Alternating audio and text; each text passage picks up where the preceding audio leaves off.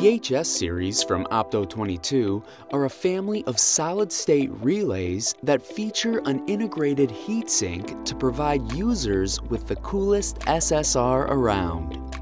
The heatsink is a passive heat exchanger that transfers the heat generated by the device to a liquid medium, dissipating the heat away from the SSR and regulating its temperature.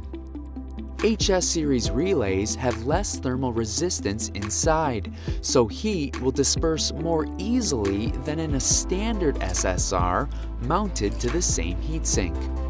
With the heatsink built in, users don't have to bother with selecting a compatible one from a catalog, and installation is much easier. Each HS series SSR has built-in hardware for screw mounting and a built-in DIN rail adapter clip for mounting on a 35mm DIN rail.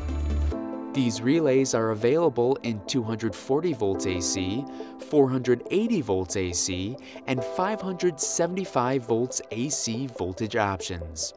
For more information on the HS series and other Opto22 devices, visit us at galco.com.